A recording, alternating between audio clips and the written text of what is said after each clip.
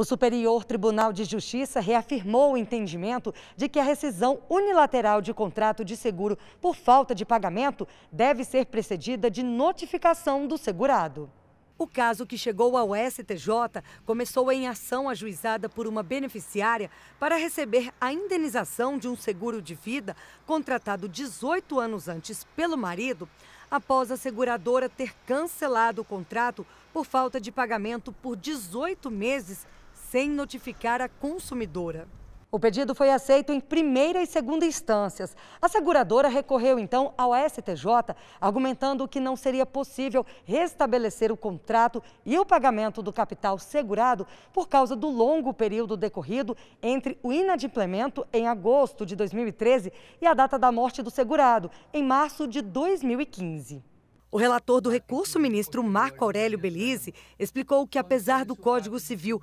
prever que não terá direito à indenização o segurado que estiver em atraso com o pagamento, se o sinistro ocorrer antes da quitação, nos contratos de seguro deve ser observada a extensão da dívida e se ela é significativa, diante das peculiaridades do caso.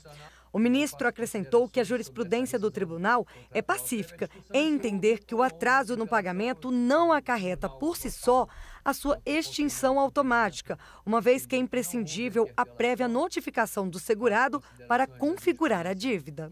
Levando em consideração o longo período de regularidade contratual e a extensão do débito, o ministro entendeu que não se mostra plausível a dispensa da notificação do segurado para rescisão contratual em razão da inadimplência. A terceira turma acompanhou o relator e negou o recurso da seguradora.